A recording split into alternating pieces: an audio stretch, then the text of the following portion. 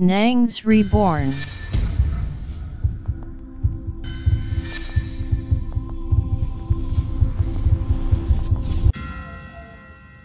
Waouh Bonjour frères et sœurs, bienvenue sur Soubonne. Nous sommes de retour pour notre vidéo. Et dans cette vidéo, nous allons découvrir les témoignages des gens qui ont vécu des scènes pas possibles, incroyables, même frère. Regardez, une fille va commencer par nous expliquer comment elle a échappé aux mains des ritualistes. Quoi? À ces fins d'année, elle a échappé aux mains des ritualistes. Comment ça s'est passé? Elle va nous dire.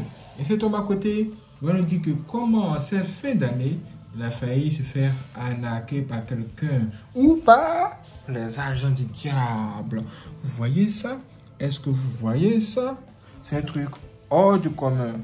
Nous, nous allons commencer par écouter ça. La première histoire hors du commun, son premier témoignage. C'est parti. Soit d'autant de décembre, faites attention. Avant de faire un pointé vers vers de comment c'est pas descendre au feu de taxi. Mais le taxi, même quand tu es seul dedans, c'est pas prudent. Donc, comme il était 22h fermé, il parti à la maison. Ma camarade m'a donné un jeton 800. Dès que je montais dans la voiture, la net, elle dit yao. Et puis elle a fait signe de regarder derrière moi. Donc, je me suis assise dans la voiture et puis elle regarde derrière moi. Je vois que tout le monde en débardait. Ça m'a fait peur, ça m'a fait sursauter. Mes jetons sont versés. Elle dit au chauffeur d'allumer la lumière hier, prendre mes jetons. Mais le chauffeur, il était assis côté, il était, pas, il était assis, il regardait derrière lui, puis il mais il, il était penché façon.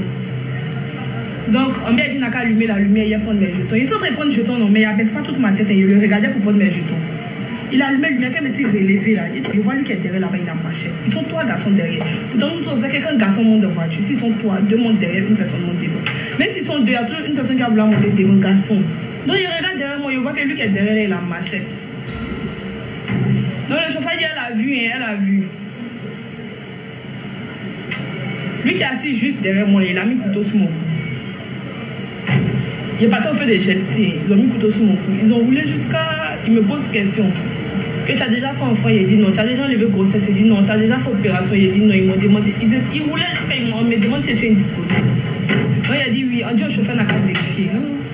Il a porté une robe, il a porté cycliste en bas. Donc le chauffeur a mis sa main en bas. Le chauffeur a mis sa main en bas. Il dit que c'est gonflé, qu'elle a porté une valise. En même temps, l'autre lui qui a attrapé ma chatte a dit que laissez-les va descendre. Le gars me demande en même temps, lui qui a mis le couteau sur mon cou, il me demande en même temps que tu as, tu tu tu l'argent sur toi, tu as téléphone toi, il dit oui. Il dit tu as combien Il dit 15 minutes, ton portable est où Il dit c'est dans mon sac. Lui qui a attrapé ma chatte a dit ne prenez rien, ne prenez rien. Sinon, si vous rentrez dans la chambre, ça, ça va gâter le médicament. Que ne prenez rien. L'autre a dit on a prendre l'argent en même temps. Lui qui a attrapé ma chatte a dit, il ne prenez rien, ne prenez rien, sinon ça va gâter. Ils ont roulé jusqu'à, c'était devenu un discours entre eux. L'autre a dit on est baillé aujourd'hui, au moins on a prendre l'argent. Donc, comme ils ont vu que je suis indisposé là, l'autre est en train de faire discours que ne prenez rien, ne prenez rien. Arrivé un moment ils ont garé, l'autre là a enlevé le couteau là doucement. Et puis ils ont vu des jeunes qui étaient assis sur une voiture, ils étaient beaucoup. Et puis ils disent que l'argent là, quand tu as me donné, il ne faut pas les jeunes avant de tomber sur moi, fais comme si de rien n'était. Et si tu as crié, si tu as voir, c'est qu'elle te montre. Donc ils sont descendus, lui a donné l'argent, ils ont roulé, ils sont partis. Dès qu'elle s'est descendue, elle vu un jeune, il m'a demandé, il y a quoi, et puis tu trembles, il dit, il n'y a rien.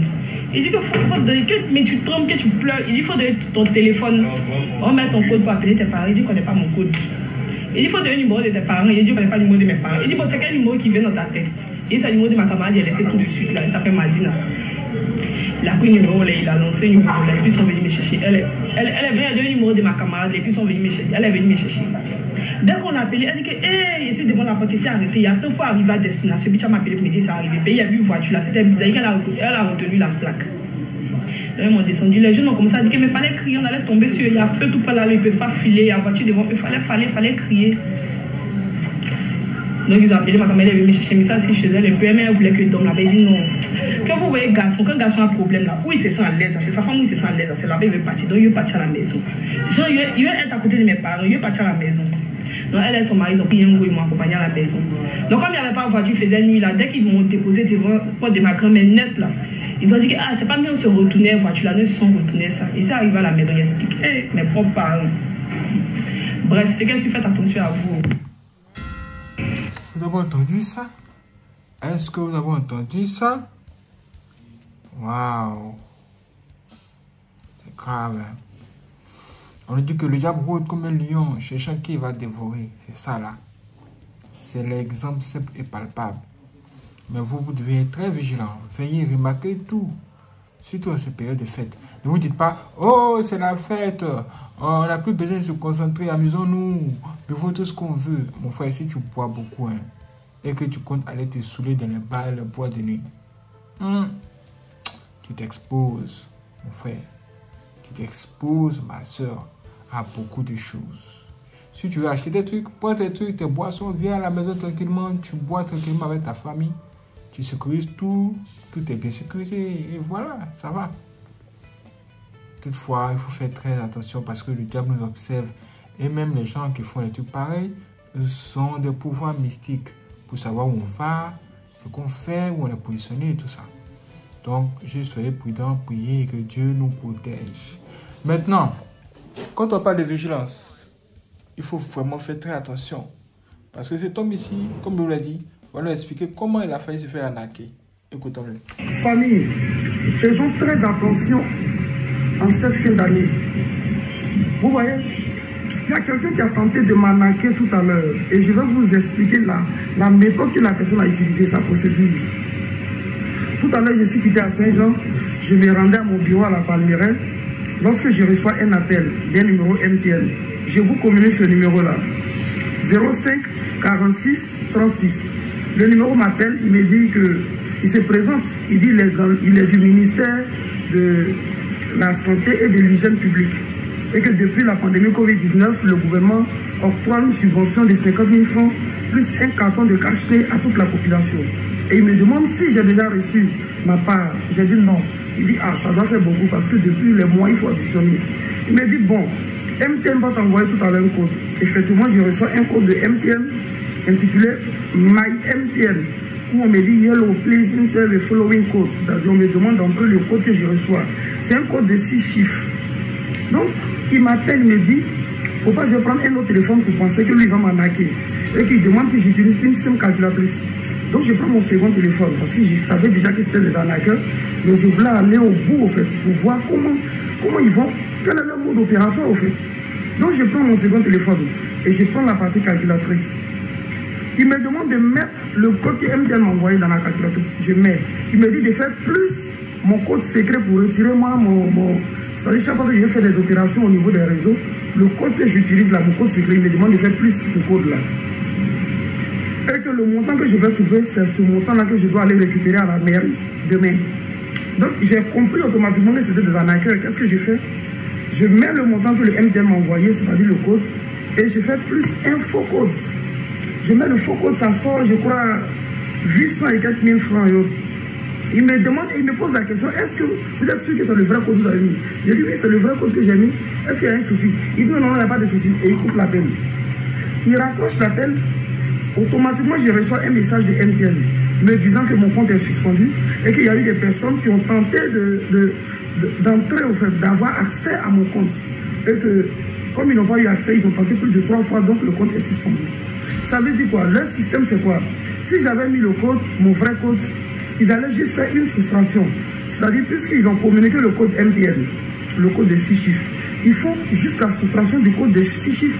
Et mon code, le code de mon téléphone reste. Ils vont connaître le code automatiquement. Comme cela, ils pourront vider le compte à leur guise.